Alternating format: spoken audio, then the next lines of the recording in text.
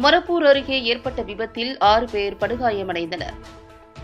தருமபுரி மாவட்டம் மொரப்பூர் அருகே உள்ள சாமாண்டஹள்ளி பகுதியில் தனியார் கம்பெனி வாகனம் விபத்துக்குள்ளானது. கிருஷ்ணகிரி மாவட்டம் போச்சம்பள்ளியில் தனியார் ஷூ கம்பெனி இயங்கி வருகிறது. இந்த கம்பெனியில் பணியாற்றும் தொழிலாளர்கள் காலை வேலைக்கு சென்றுவிட்டு பணியை முடித்து வீட்டிற்கு வாகனத்தில் வந்து கொண்டிருந்தனர். அப்போது சாமாண்டள்ளி அருகே எதிர்பாராத விதமாக நிலை தடுமாறி விபத்துக்குள்ளானது. இதில் ஆறு பேர் படுகாயமடைந்தனர். படுகாயமடைந்தவர்கள் மீட்கப்பட்டு அவசர ஊர்தி மூலமாக மொரப்பூர் ஆரம்ப சுகாதார நிலையத்தில் சிகிச்சைக்காக சேர்க்கப்பட்டனர்.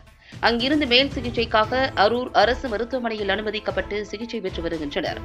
இந்த விபத்து குறித்து மொரப்பூர் காவல்துறையினர் விசாரணை மேற்கொண்டு வருகின்றனர்.